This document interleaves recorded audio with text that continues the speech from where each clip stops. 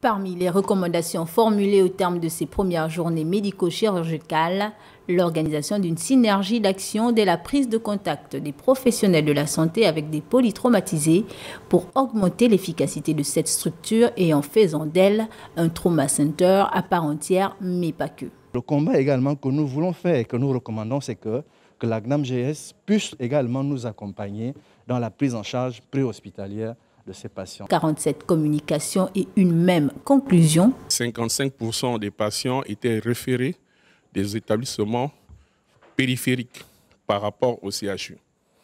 Donc ça démontre qu'il y a une médecine de qualité qui est faite dans cet hôpital.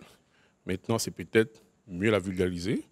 Je pense qu'à travers les médias que vous êtes, vous sauriez mieux vendre aussi ce, bel hôpital pour faire comprendre qu'il euh, y a une médecine de pointe qui est, faite ici. Si le sentiment d'une mission accomplie se dégage de cette rencontre scientifique de haut niveau, c'est sur la mise en œuvre de ces différentes recommandations que sont attendues les retombées de ces premières journées médico-chirurgicales du CHU d'Ovendo car face aux chiffres inquiétants de 65% des admissions en réanimation à cause de pathologies traumatiques au Gabon, beaucoup reste à faire pour renverser la tendance en faveur des patients.